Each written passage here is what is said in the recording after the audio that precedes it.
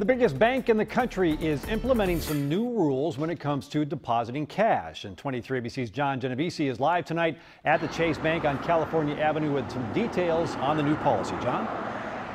Todd, JP Morgan, the company behind Chase Bank, has faced scrutiny over a massive Ponzi scheme.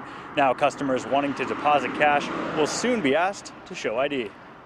I think it's a problem. A problem that Fernando Barato says could lead to confusion. But I think about the other person who probably don't have a, a document or license or something like that to, to deposit the, the, the money. Beginning March 3rd, Chase Bank customers will now be asked to show ID, and they must be named on an account to deposit cash. They're cracking down on the procedures. Financial expert Garrow Ellis says it all comes down to scrutiny by the federal government.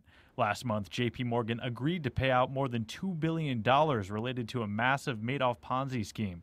In a statement to 23 ABC, a Chase spokesperson said, We are making this policy change for cash deposits only to combat the misuse of accounts, including money laundering.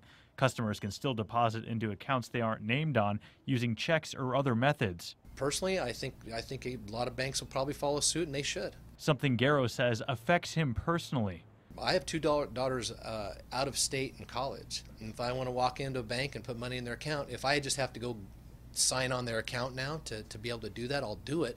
And something he says others should get used to. There's going to be a balance between uh, trying to make customers happy and um, enact policies in place to, to make sure money laundering doesn't happen. Again, that policy doesn't go into effect until next month, but Chase says they've been warning customers since the start of the new year. Todd and Jackie, back to you.